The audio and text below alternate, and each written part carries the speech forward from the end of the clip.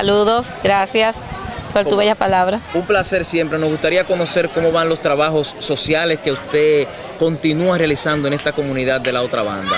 Bueno, esto es una muestra, lo que acaban de ver, un grupo de jóvenes, un movimiento de jóvenes de la comunidad. Me acaba de, de reconocer, de invitar. Para mí fue una sorpresa, no sabía que era de esta magnitud, pero más que agradecida de mi comunidad, de siempre servirle y de poder servirle. Hay muchas personas que no conocen la obra social de Cesarina Canepa. Nos gustaría, Cesarina, conocer cuáles son esas obras que usted hace acá en esta comunidad de la otra banda, que es bastante grande.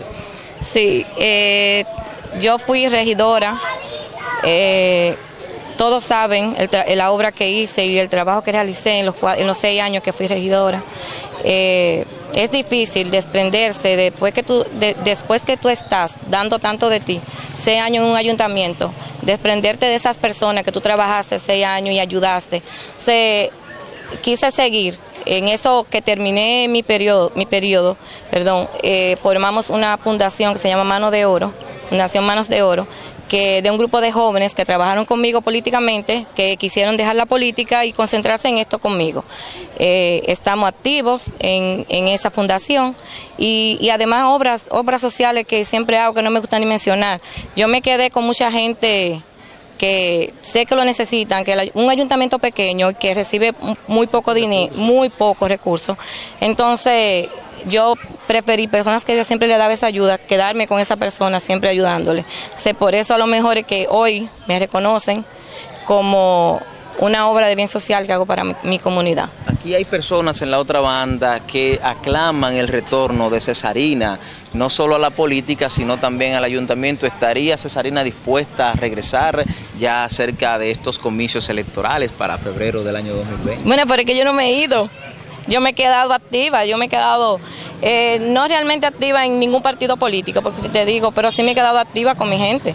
Yo siempre he estado ahí y no me hace falta estar en un partido, ni con otro, ni seguir en la política para seguir ayudando, porque como te acabo de decir, estoy en esa fundación y que no es nada política, pero sí son jóvenes que vinieron de un proceso político y trabajaron conmigo y quisieron apoy seguir apoyándome y, y, estoy en eso, pero todavía no estoy decidida realmente no decidida. con quién voy a participar en la política, ni tengo una resaca política todavía y mira que ya, la, ya, ya, las elecciones están ahí y todavía tengo la resaca política. Pero le gustaría... Eh, es que a mí me gusta, me gusta la política, me gusta servir y me gusta ayudar.